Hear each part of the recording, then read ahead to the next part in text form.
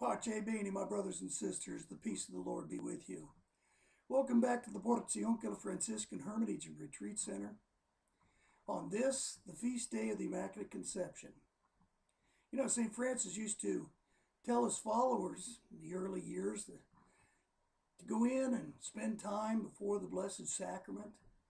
And even if the Blessed Sacrament was not exposed, to go before the tabernacle and visualize in silence that the tabernacle was the equivalent of the womb of the Blessed Virgin Mary holding the Christ child.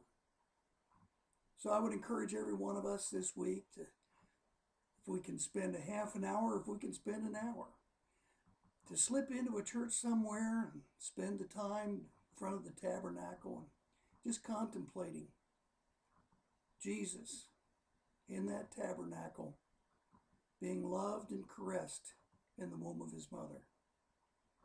And so I'd like to offer a special prayer on this solemn occasion in the language of St. Francis of Assisi. Ave Maria, piena di grazia, il Signore è con te. Tu sei benedetta fra le donne, e benedetto il frutto del tuo seno, Gesù. Santa Maria, Madre di Dio, prega per noi peccatori, adesso nell'ora della nostra morte. Amen.